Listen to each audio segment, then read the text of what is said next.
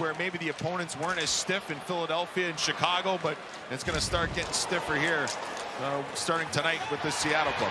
Now some physical play along the wall, and Foligno looked like he was maybe ready to go with Vince Dunn. Molino had just come out of the box. Zuccarello was working with him on the near side and then tangled up. Zuccarello's in, looking for Molino, and broken up with Larsson defending.